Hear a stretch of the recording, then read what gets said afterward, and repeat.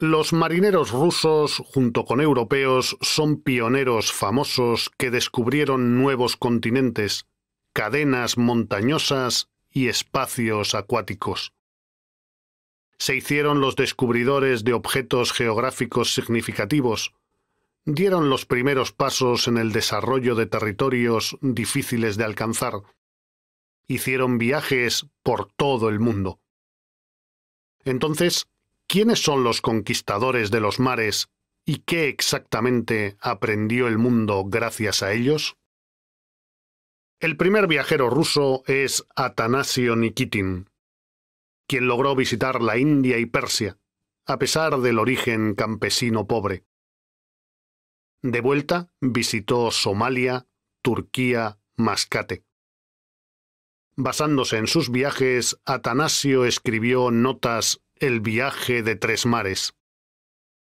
Estas notas fueron el primer libro en la historia de Rusia que describían las características políticas, económicas y culturales de los territorios. El atamán cosaco Simeón Yezhnev era un navegante ártico y descubridor de una serie de objetos geográficos. En 1643, Simeón Yezhnev descubrió Kalimá, donde fundó la ciudad de Srednyakalimsk. Un año más tarde, continuó su expedición y descubrió el punto más oriental del continente, más tarde llamado Cabo Yezhnev. También su nombre tiene una isla, una península, una bahía y un pueblo. Vitus Bering y su compañero Alexei Chirikov descubrieron las penínsulas de Kamchatka y Azyerny, las bahías de Kamchatka, La Cruz, Karagin, la bahía Providencia, la isla de San Lorenzo. Al mismo tiempo, encontraron y describieron otro estrecho, más tarde llamado el estrecho Bering. Los primos Lapchev hicieron una contribución significativa al desarrollo de nuevos territorios. Dimitri se hizo el primer navegante en hacer mapas detallados de la costa desde la desembocadura del río Liena hasta la desembocadura del río Kalimá. Hariton Lapchev exploró la parte más norteña de la costa de Siberia. La expedición tuvo lugar en condiciones difíciles, una gran cantidad de hielo, tormentas de nieve, cautiverio de hielo, pero continuaron el trabajo iniciado. Iván Kruzenstern y Yuri Lysiansky son los dos primeros marineros rusos que hicieron un viaje alrededor del mundo. Su expedición duró tres años. Comenzó en 1803 y terminó en 1806.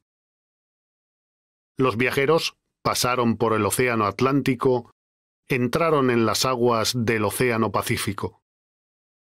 A través de ellos, los marineros navegaron a las islas Kuriles, Kamchatka y Sajalín. Este viaje nos permitió recoger información importante. En base a estos datos, pudieron hacer un mapa detallado del Océano Pacífico, así como reunir datos sobre la flora y fauna de las Kuriles y Kamchatka, gente local, sus costumbres y tradiciones culturales.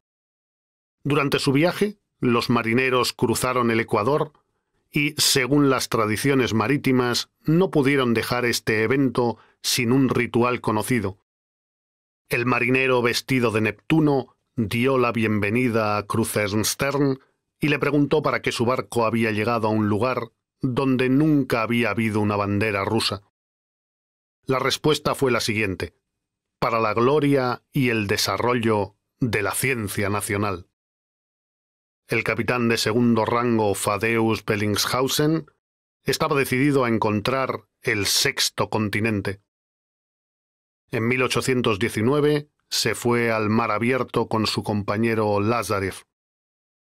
Los viajeros querían comprobar o rebatir la existencia de la Antártida y explorar las aguas de los tres océanos, Pacífico, Atlántico e Índico. Los resultados de esta expedición superaron todas las expectativas.